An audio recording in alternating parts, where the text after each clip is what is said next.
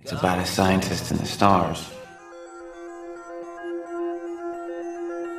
The boy saw the comet,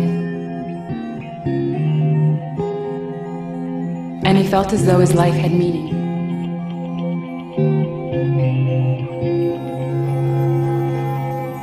And when it went away, he waited his entire life for it to come back to him.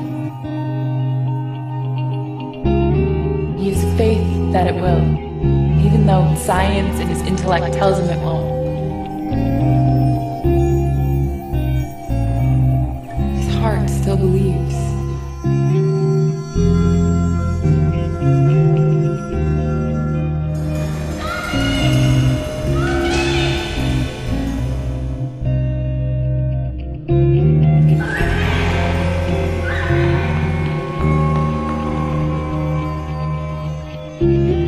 It's about a. It's about love in its purest form. And heartbreaking.